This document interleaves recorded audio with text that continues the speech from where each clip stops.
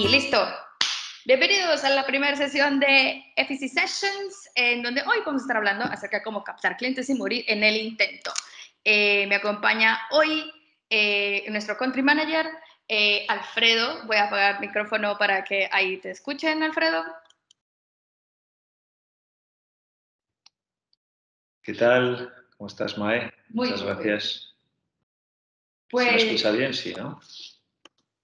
Si nos pueden hacer un dedo para arriba para ver si nos escuchan, sería fenomenal. Así que si todo bien, si nos ven bien, todo perfecto, hagamos que esta sesión sea súper interactiva para todos, ¿vale? Sí, sí, todo bien, bien, adelante, perfecto.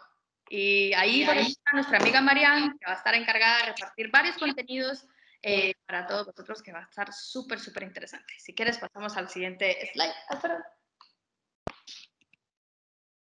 Ok. Bueno, pues ¿quién nos acompaña hoy? Como decía, Alfredo, nuestro country manager de FCC España, y yo, eh, Maya Guzmán, Marketing Campaign Officer aquí en FCC. Una sesión súper interesante en donde vamos a hablar acerca de tanto cómo podemos captar a nuestros clientes, como podemos un poquito retenerlos, pero lo más importante de todo es las acciones comerciales que tenemos que llevar a cabo. Así que sin tanto preámbulo más, Alfredo, eh, los micrófonos, el escenario digital, todo tuyo. Vamos a estar en el chat contestando dudas al final, ¿ok? Bienvenido. Pues eh, nada, encantado de estar con vosotros. Eh, hoy vamos a hablar un poco en líneas generales acerca de todo lo que es el proceso de venta, sobre todo la parte inicial. Eh, con nuestra experiencia que hemos tenido en los últimos años, habremos vendido más de 5.000 CRMs a, a, pues eso, a 5.000 empresas diferentes. Hemos ido puliendo todo el proceso y básicamente nuestro proceso eh, se puede dividir en dos partes, que nosotros eh, llamamos internamente, que es la prospección y la acción.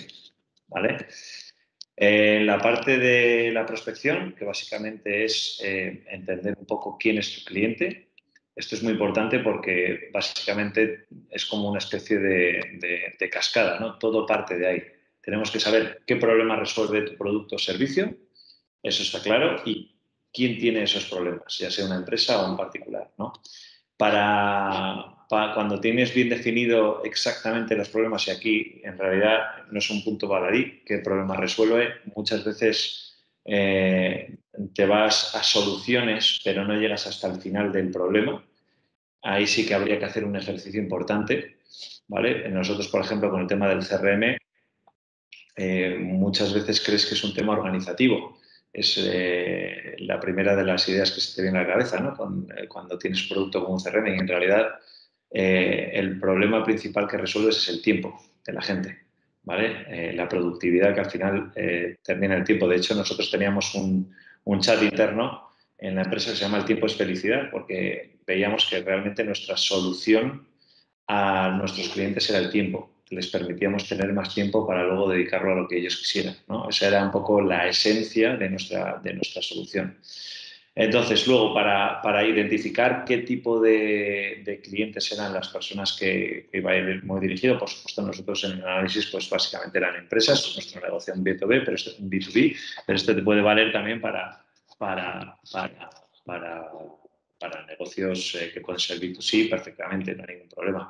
Eh, básicamente, nosotros internamente lo llamamos, eh, para la, hora de captar clientes, eh, en realidad es eh, los mecanismos a través del marketing y la prospección. Internamente lo llamamos inbound y outbound, ¿vale? Básicamente el marketing lo que te va a permitir es que una vez que tienes muy definida tu base de clientes o el perfil de tu cliente, puedes identificar pues, en qué canales están, eh, qué puntos de interés eh, puedes llegar ahí, puedes hacer ahí desde, pues, pues, imagínate, campañas de paid media, como puede ser todo lo que son redes sociales, eh, todo lo que es AdWords, todo lo que es AdSense, todo, ese tipo de, de campañas, que Mae sabe bastante más que yo, pero bueno, básicamente tú generas ese tipo de campañas para que ellos te vengan a ti, que es lo que llamamos nosotros inbound que es un método bastante eficiente de captar clientes, está claro, y de optimizar tiempos. Y luego está lo que es la parte de la prospección, ¿vale? que esto ya es lo que llamamos más el outbound. Aquí os diría que depende un poco de qué tipo de producto, los porcentajes de éxito dentro de lo que es el outbound no son tan, no son tan buenos como el inbound, por supuesto. Para hacer una campaña de inbound, de todas formas, también se requiere equipo, se requiere eh, pulirlo, se requiere seguimiento, no es barato. Y el outbound es como lo, que empieza todo el mundo, ¿no? Primero, oye, pues si tengo, hago webs, pues oye, voy a empezar a, a llamar a empresas de un sector concreto, etcétera, etcétera. Nosotros, ahí es verdad que hay diferentes técnicas dentro del outbound, una de, o la de la prospección, una de las más importantes es Oye, lo más difícil es cerrar tu primer cliente, quédate con ese cliente. Ese case study, ese vertical, ese sector, etcétera, etcétera, te puede ayudar mucho. Te puede ayudar mucho. Nosotros a lo largo de la experiencia de vender a, muchísimos, eh, a muchísimas empresas de diferentes sectores te dabas cuenta que ya a la larga, si nos llamaba un despacho de abogados, sabíamos perfectamente lo que querían oír. Si nos llamaba una ingeniería, sabíamos perfectamente lo que querían oír. ¿no? Más que lo que querían oír no era solo por vender, sino era qué parte de nuestra solución realmente era de su, de su, de su principal interés. ¿no? Entonces, eso en la parte de la prospección, que tienes muchas menos probabilidades de éxito, es muy importante, lo de los verticales. Generar un case study y machacar ese sector, entender lo que se necesita, evolucionar tu solución o tu pitch comercial, etcétera, etcétera. Eh, Luego vamos a ir a la parte de lo que es el argumentario de, ventas, ¿vale? Que esto ya sería más la parte de acción, ¿vale? Antes era la parte de prospección, ahora toca la parte de acción, ¿ok? Una vez que tenemos identificada... Eh, aquí estamos hablando todo el rato básicamente de la... Te vale tanto para, lo que es eh, el inbound y el outbound, pero diría, yo te diría que es especialmente importante en el outbound, ¿vale?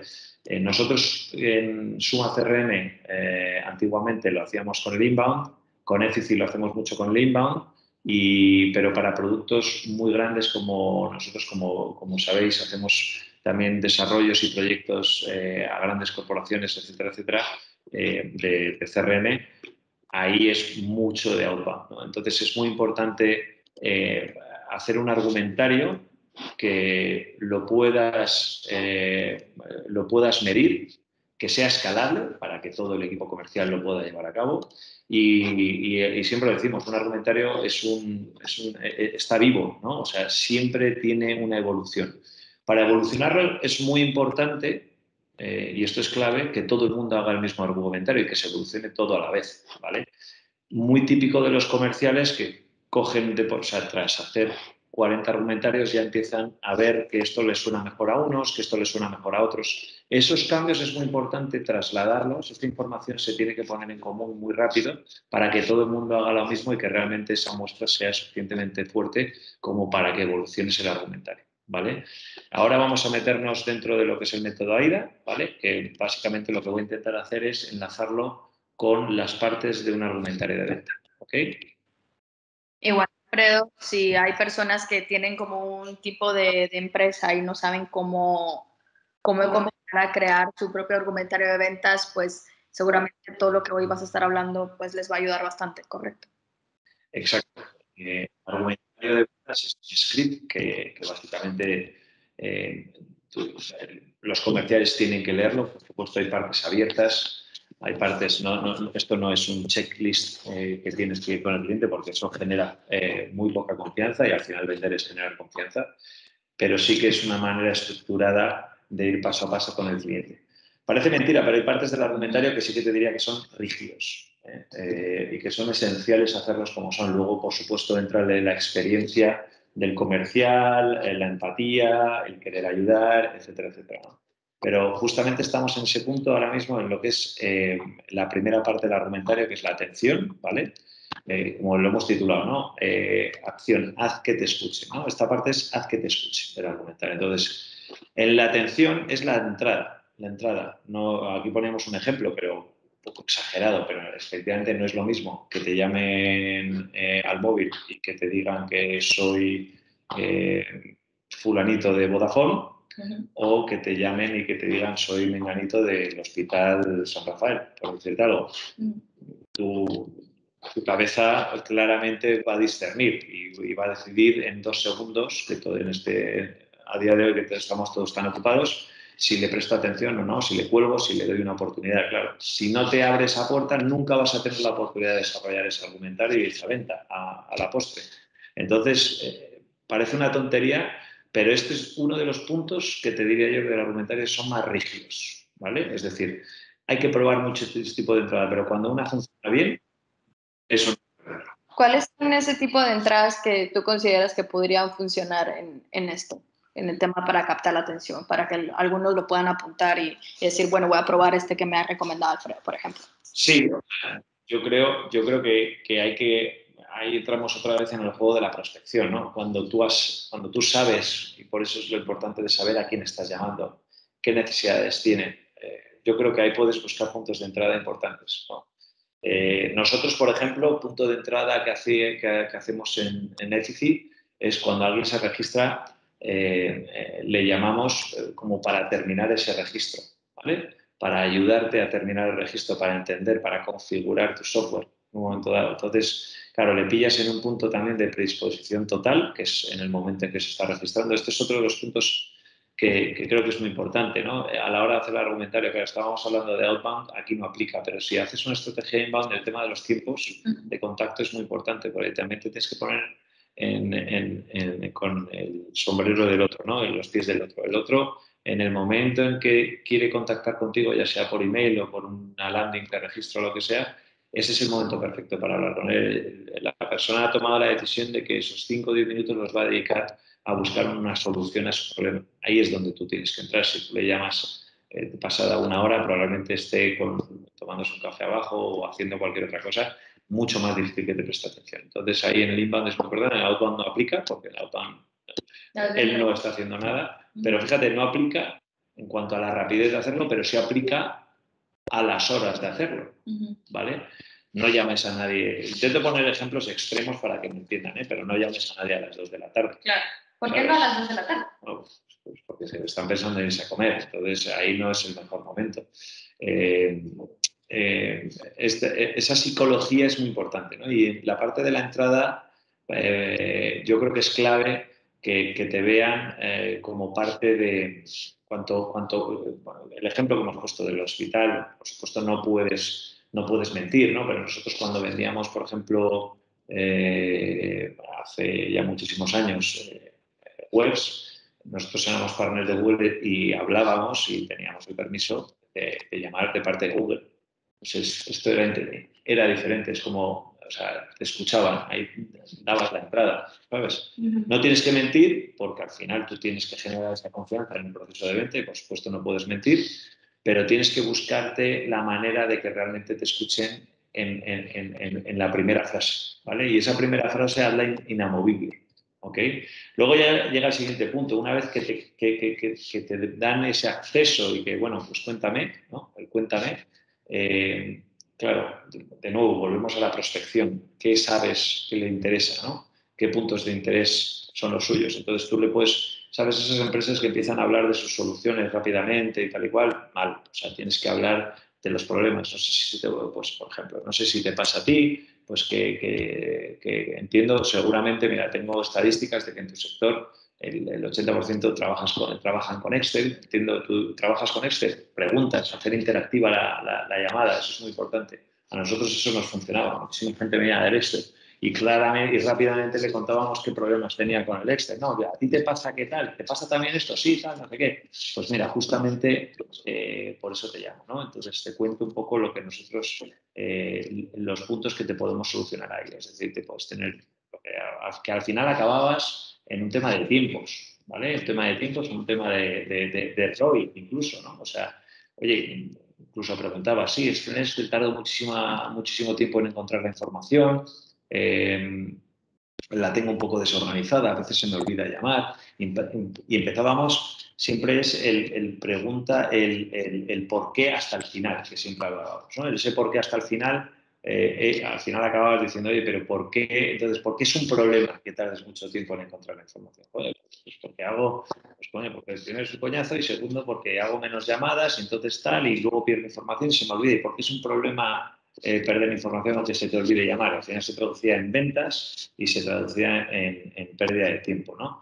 Intentábamos ir a ese número económico para que también de alguna manera ellos pudiesen poner en valor, pues luego al final de todo el argumentario, o probablemente ni siquiera en la primera llamada se habla de precios, eh, pero que en un momento dado iba a salir el tema precios, eh, que pusieran en valor el tiempo barra costes que suponían no tener una solución común. Supone no tener una solución como la nuestra. ¿no?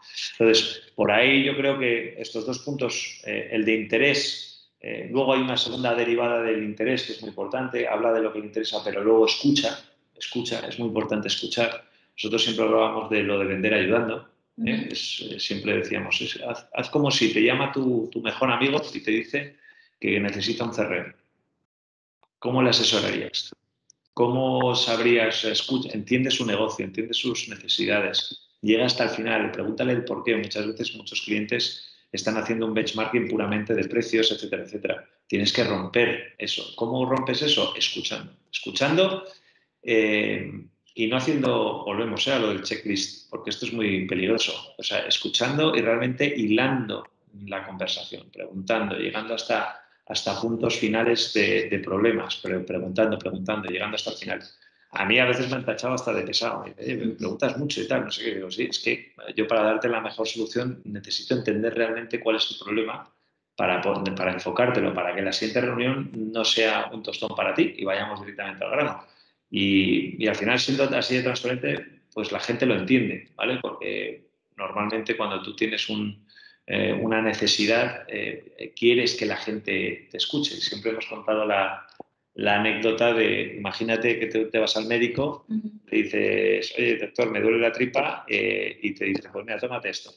En lugar de, de preguntarte 40 cosas, para entender de dónde viene ese dolor de tripa, qué tipo de dolor de tripa tienes y tal. O sea, que eso es súper importante, eso te genera confianza. Tú te vas al medio y dices, pues tómate esto, y dices, pues este tío ni me ha escuchado, no sabe ni qué tipo de dolor de tripa tengo, ¿no? ¿Cómo me voy a tomar yo estas pastillas? Pues es un poco eso, ¿no? ¿Eh? Eh, aquí hablábamos de la venta consultiva, que siempre la llamamos ayuda al cliente, es lo que hablábamos siempre, y para nosotros todo lo que es la fase de cualificación, que es la fase de entender realmente lo que quiere el cliente, es la fase de, es, la, principal es el 80% del tiempo.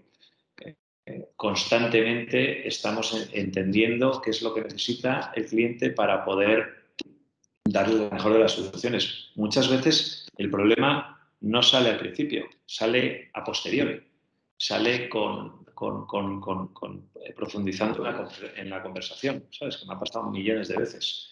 Y, eso es importante y que, que la otra persona, claro, una conversación la tienes que tener la suficientemente tensa como para que el otro no piense, me está haciendo perder el tiempo, ni tú pienses, estoy perdiendo el tiempo. Entonces tiene que ser interesante, tiene que... Por eso es la parte de las ganas de ayudar, ¿no? Tienes que tener ganas de ayudar al, cliente, ¿vale? Eh, luego está la siguiente parte, ¿vale? Hemos dicho, eh, haz que te escuche, y la última parte del argumentario yo te diría que es haz que te compre. ¿Vale? Em, ¿Cómo?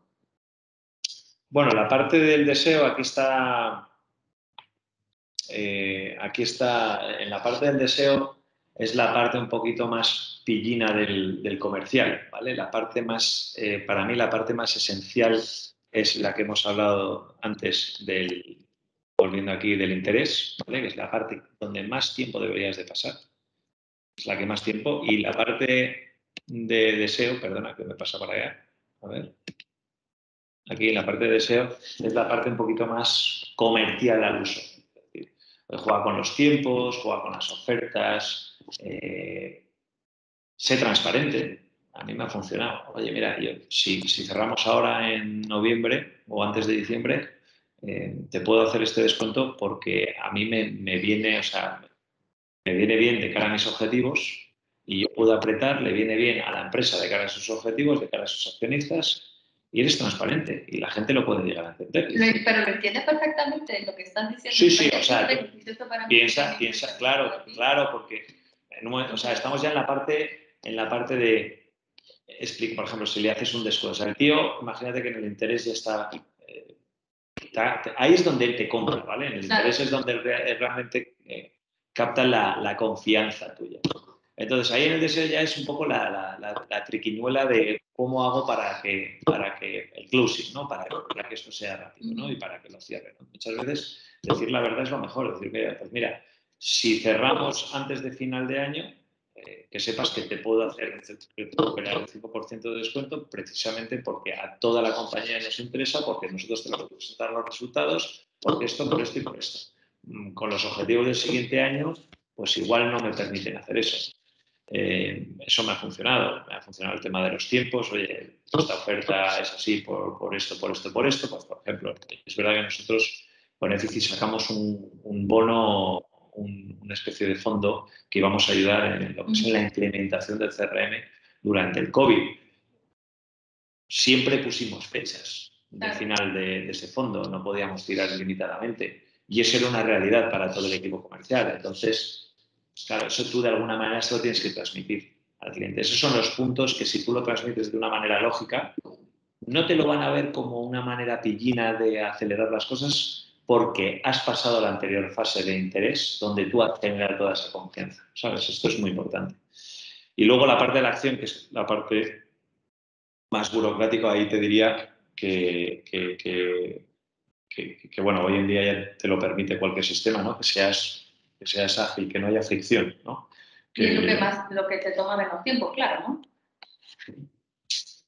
Eh, antiguamente se hacían grandes contratos, eh, los contratos deben de ser muy, muy simples, por supuesto jurídicamente te deben de proteger, etcétera, etcétera, pero los abogados tienden a poner mucha, mucha letra. Eh, a nivel comercial te interesa que eso sea de un folio, si es posible, que esa parte no chirríe. entonces esa parte la tienes que ejecutar fácil. Nosotros, por ejemplo, en FCC, en el plan Starter, aquí lo tenemos clave, claro, es decir, tenemos un sistema automático de cobro. Por tanto, el cliente, tras los 14 días de prueba, rápidamente, o sea, cuatro, 14 días de prueba, automáticamente se le genera un contrato porque ha aceptado las condiciones todo automático y se le cobra. Pues eso es cero ficción. Eso es lo, lo, que más... Un comercial no quiere perder el tiempo en perseguir a un tío que que le ha mandado el contrato. quiere perder el tiempo o invertir el tiempo en, en, que le envío la oferta, esta es otra de las cosas, muchísimo mejor que enviar una oferta es presentar la oferta, presentar la oferta en una ropa para ir punto a punto y ajustarla, porque muchas veces te falta un poco de entendimiento, y, ir, y, que tú tengas la capacidad de maniobrar ahí mismo y de hacer la lista y, que se firme, pero un comercial no quiere andar persiguiendo administrativamente un contrato lo que, lo que quiere es que se firme. Entonces, cuanto más simple, mejor. Ese punto es importante. Y también, pero no sé si, o sea, tú me dirás más que yo, que hay dos, hay dos tipos de cierre. El cierre que es como producto starter, que es un poco más ipso facto, a el resto de productos que el ciclo de venta es un poquito más largo, ¿no? Bueno, claro, cada, pero fíjate, ese ciclo de venta en la parte de afecta a todas las partes, pero te diría donde más afecta es en la parte de interés. Mm. El ciclo de ventas se alarga mucho en proyectos más grandes porque el grado de comprensión del proyecto tiene que ser mucho más amplio.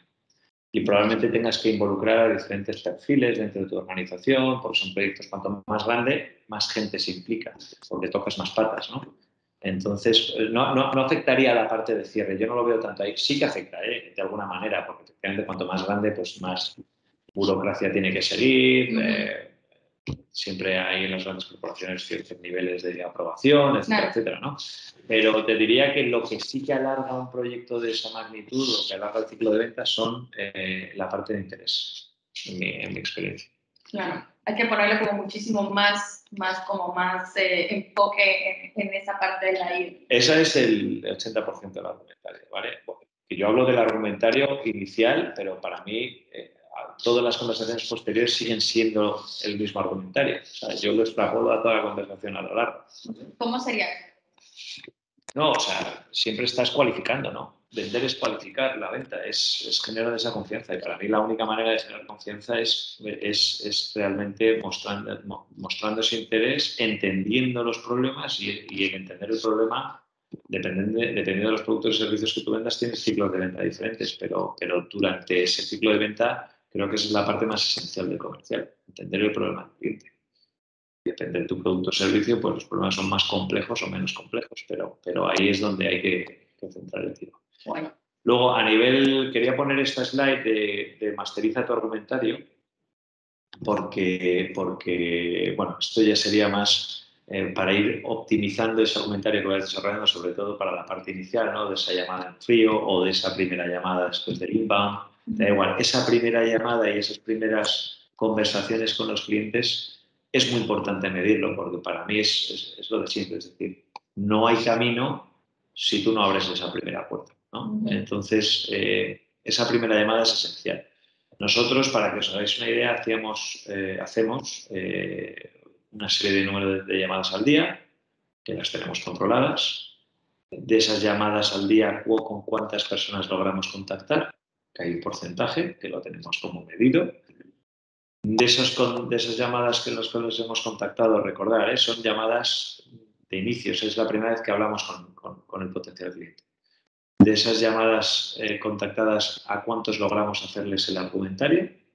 Y de, y de los que les hacemos el argumentario, ¿a cuántos les logramos agendar una demo? ¿Vale? Ese es nuestro funnel en nuestro negocio. Todos los negocios hay un pequeño funnel, pero desglosarlo es, es es fantástico para identificar los problemas, sobre todo cuando tú tienes un equipo comercial, bueno, para ti mismo y para un equipo, sobre todo cuando es un equipo grande y lo quieres escalar, esto es esencial, medir ¿no? las métricas. Entonces, está la parte de cómo mejoro, ¿no? Por ejemplo, es que en cada punto tienes mejoras, eh, puntos de mejora, número de llamadas al día, pues si hago 30, ¿cómo puedo hacer 40? Pues igual con sistemas de productividad, como pueden ser, yo sé, CRMs mismos que simplemente con un clic ya te sale la llamada, eh, con un CTI, etcétera, etcétera. Ahí ahorras mucho tiempo, tú empiezas a, calcular y, ahorras muchísimo tiempo. Eh, teniendo una base de datos organizada en un solo sitio, etcétera, etcétera. Pero con un clic lo puedes llamar, que no estés buscando bases de datos como un loco y a quién he llamado y a quién no he llamado. Hay softwares que se llaman CTIs que también te organizan las llamadas. Ahora incluso ya la optimización del tiempo número de llamadas al día es lo que están haciendo las, los departamentos de telemarketing, pues por ejemplo, de lo que hablábamos antes, ¿no? de, las grandes compañías de teléfono, eh, es que ni marca. Pues, el, software, el software salta, en cuanto está, ya está ejecutando la otra llamada por detrás, pum, ya le sale, elige al operador y tal. Eso, es poner un, un, ejemplo extremo, ¿no? Pero bueno, el facilitar el hacer número de llamadas al día es importante, ¿no? Luego, eh, número de llamadas contactadas. Pues aquí, ¿cómo mejoro mi porcentaje? Fíjate, nosotros siempre hemos tenido un 25% en España. ¿no? De, de 100 llamadas dábamos con un 25%. Bueno, pues hicimos análisis, bueno, dábamos con menos, pero hicimos análisis, empezamos a ver en qué horarios dábamos con la gente, por ejemplo, empezamos a ver que con los IDs de llamada por ejemplo, cuando llamábamos a Latinoamérica y llamábamos desde España, pues el ID de llamada no generaba confianza, entonces buscamos soluciones de que el ID de llamada, que es lo que sale en tu teléfono cuando tú cuando estás llamando, cuando sale el teléfono que recepciona la llamada, pues hicimos que saliese, si la persona o la empresa está en Colombia, salía un número colombiano. Entonces ahí subía drásticamente el porcentaje de llamadas que te cogían, ¿vale? Eh, es como si ahora a ti aquí te llama un número desde desde Londres, pues, eh, pues igual no lo coges. Eh, claro, somos así. Hay, de desconfianza. exacto, esto es así, es, psicología, es todo psicología. Luego, de las llamadas contactadas, ¿con cuántos argumentarios podíamos hacer? Y, hablábamos del argumentario de cuántos te daban pie para hacer el argumentario. Es decir, tú entrabas, hacías esa entrada, que hablábamos antes del método AIDA, la parte de la atención, ¿vale? Esa entrada eh, es, lo, de siempre. Es decir, si yo digo, oye, eh, Mike, ¿cómo estás? Mira, te llamo de Vodafone, no sé qué. Claro, ahí me vas a colgar. Entonces ahí... el, el número de argumentarios hechos, ahí era cero, si tú me colgabas. El número cuando le dábamos uno, cuando el argumentario eh, nos, nos permite seguir para adelante con el argumentario y poder hacerlo.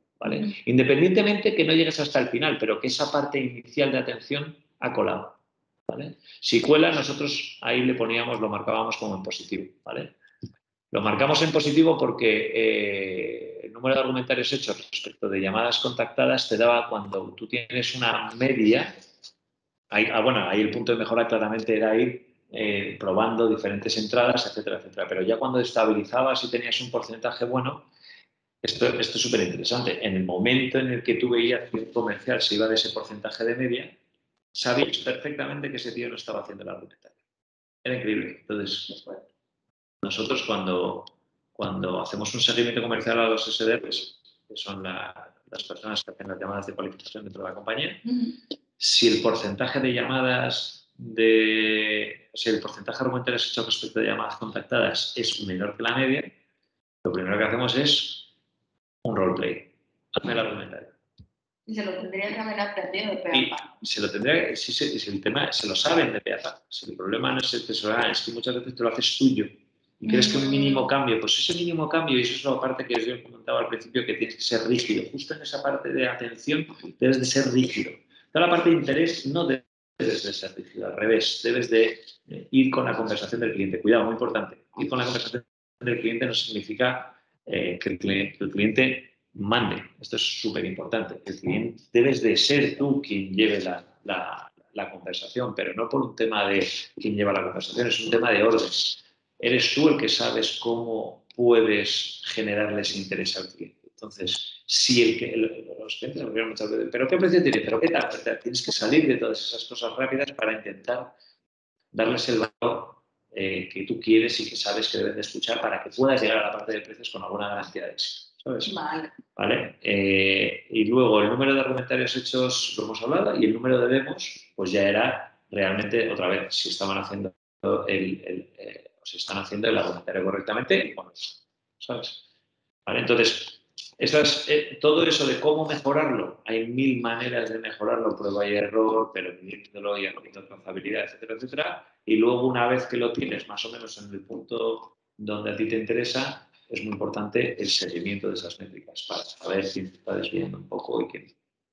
Es interesante, hablaste mucho del tema, claro, que es el roleplay actualmente pocos ya no lo están haciendo y a tu punto de vista es como algo que se tiene que hacer de una forma mucho más seguida o en el momento que se analiza el argumentario?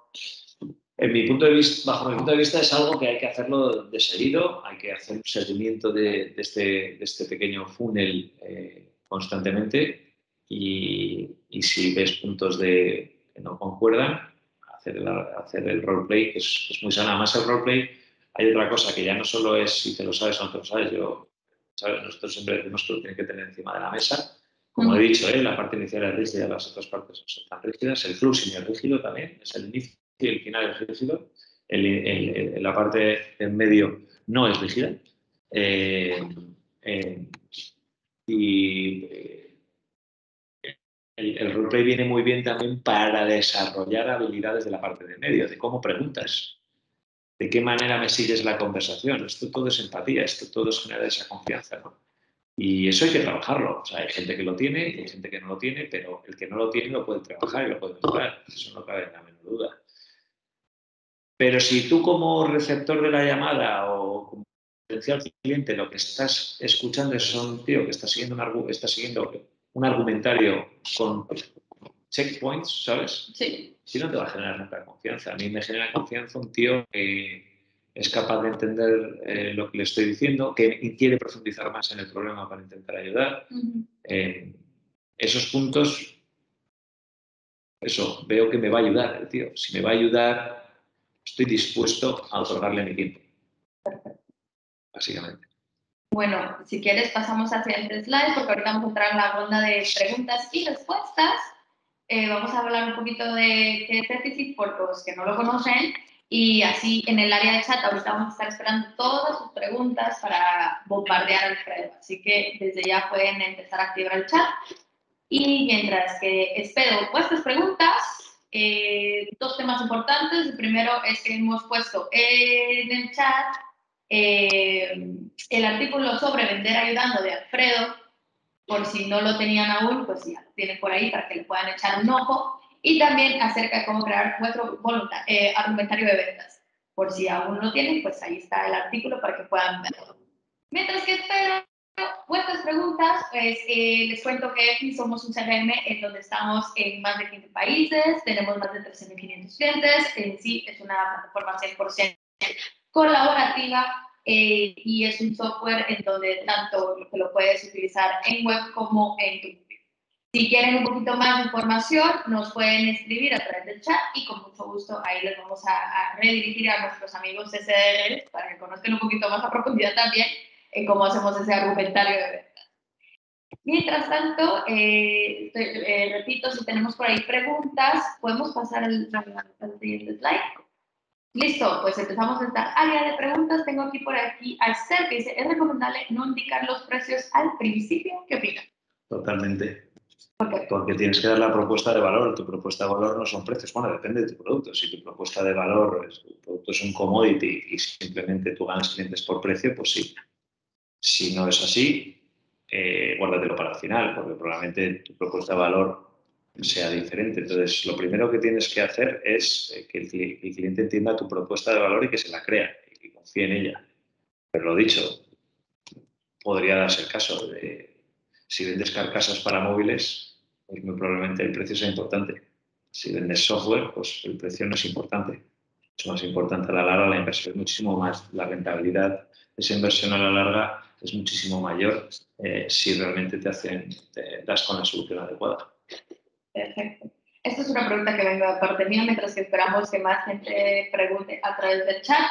Em, es importante entonces eh, cuando estamos haciendo ya el argumentario, pero antes de todo eso tenemos que contar literalmente con un buen equipo comercial para que se desarrolle mejor todo lo que estás diciendo, el contratar a, buena, a buen equipo. Sí, Sí, otra vez, depende también del producto o el servicio que vendas, pues, pues eh, necesitas diferentes perfiles de comerciales.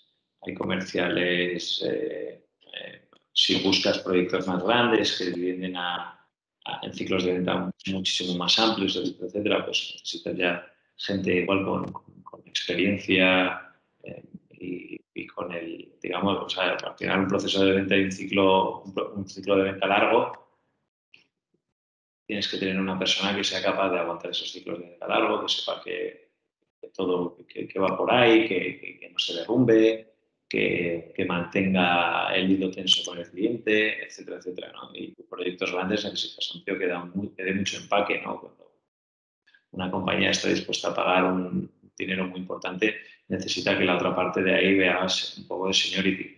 O sea, que ahí entraría un perfil mucho más senior perfiles más juniors puedes contratar con, con, estrategias de venta un poquito más de pan y mantequilla eh, y, o, con productos que no requieren de tanta necesidad de comprensión de las necesidades del cliente. O sea, dependerá de cada uno de, las necesidades. Tengo otra pregunta por acá de Flavio que dice, ¿cada cuándo conviene revisar el argumentario? En mi empresa no tenemos uno y estamos eh, remodelando el equipo comercial, pero muy probablemente el primer argumentario que hagamos será un desastre cada cuando hay que revisarlo. Sí, siempre. Es, está vivo, es un documento vivo. Eh, vamos, nosotros le dábamos una vuelta y sobre todo al principio le vas a dar 4.000 millones de vueltas. Lo importante es trazar los testeos que hagas. Si tienes un argumentario, la primera versión del argumentario, que además lo tienes que dividir en tres o cuatro partes, muy importante porque puede ser que tú que varíes la parte primera y la segunda esté muy bien y tal, ¿sabes? Entonces, es muy importante que, que, que, hagas todas las pruebas y que lo, y que lo midas eh, y que cojas al equipo y dices, bueno, pues ahora vamos a hacer 50 llamadas con este argumentario y que tú lo midas. Y luego cambias a la versión 2. 50 llamadas con este segundo argumentario. O sea, darle el mismo chance para que tengas muestras suficientemente buenas como para que realmente saques datos. Eh, dice por acá Javier Santos Martín, dice, ¿trabajas con bases de datos compradas para contactar con clientes? Bueno, yo eso te diría que comprar bases de datos eh, es más una estrategia de marketing. Pues, Sobre el tema de mails en frío. Sí, o sea, tú puedes generar efectivamente mails en frío, que generen un poquito de interés, contenido de calidad, etcétera, etcétera, para que luego eh, te conozcan y contacten contigo, te respondan y tal, ¿no? Eso sería una estrategia puramente de inbound, con bases de datos compradas. Ya está la parte técnica ahí de decir con qué herramientas lo haces, con qué sabes que no se te ocurra hacerlo con tu, con tu hosting, que te lo puedes cargar y luego tus emails normales se pueden marcar como spam y tal y cual. Hay herramientas especializadas para hacer ese tipo de más emailing que, que te permite pues, pues, pues que, no te, que, que, si hay mucho rebote, pues que a ti no te afecte de tu dirección de correo. Pregunta para acá, ¿cuándo es recomendable volver a llamar a un cliente que posiblemente esté interesado en el producto?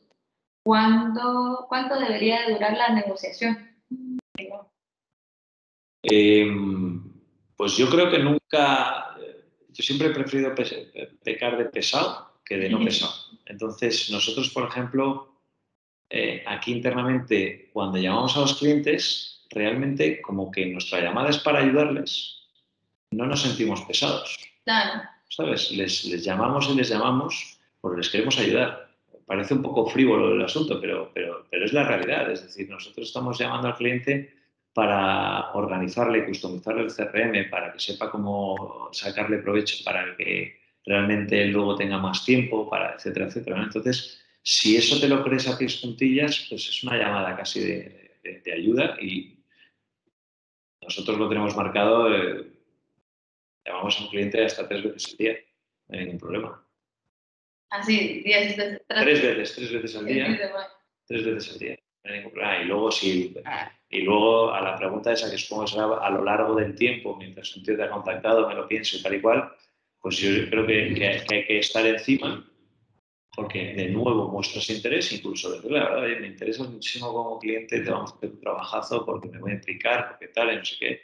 Y perdona que sea pesado, pero es que de verdad que me interesas muchísimo y tal, y, eres transparente. Y eso, y eso funciona. Eso lo estaba leyendo cabal esta semana, bueno, la semana pasada en un estudio de LinkedIn del año pasado, bueno, de este año, en que hicieron con unos comerciales de Canadá y Estados Unidos que efectivamente el 48% de los compradores que hicieron, pues que respondieron a esa encuesta, la transparencia es una de las cosas más importantes que vende. Sí, bueno, es que claro, es generar confianza. La venta es confianza.